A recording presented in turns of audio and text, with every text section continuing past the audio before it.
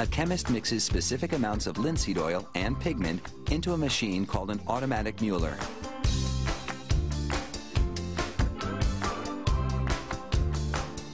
It rubs the ingredients together, dispersing the pigment particles throughout the oil.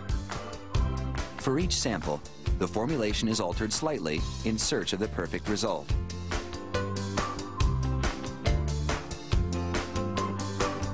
The research team compares the resulting colors and selects the best one.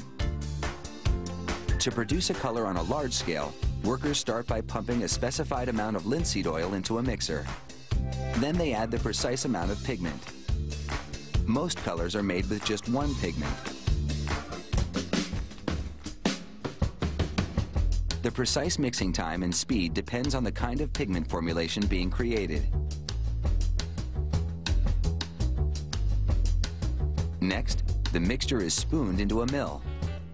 Three dispersion rollers rub the ingredients, separating pigment particles and coating them in oil. The recipe specifies how much pressure the rollers apply, how fast they turn, and how long they work the mixture. Milling can take hours or even days depending on the texture of the pigment. The quality control lab takes samples from each batch coming off the mill and subjects them to a series of tests. Technicians scrutinize paint from both sides of the mill to ensure the mixture is being processed evenly.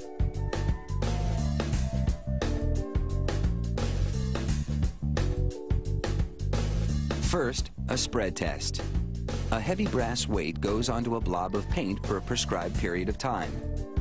Then, inspectors evaluate the volume of color and measure the distance it spread. If it doesn't spread far enough, it needs more milling. Next, a dispersion test.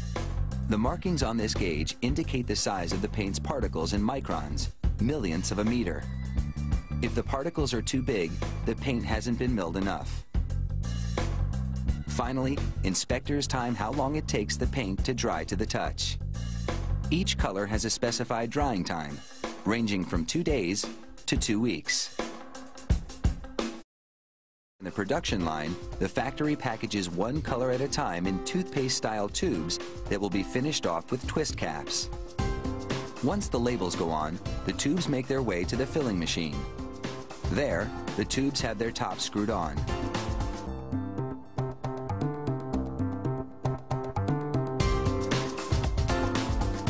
A nozzle squirts in the paint. Then clamps flatten the edges shut. Roller folds over the edge to strengthen the seal against squeeze pressure. Now, these oil paints are finally ready to meet the canvas.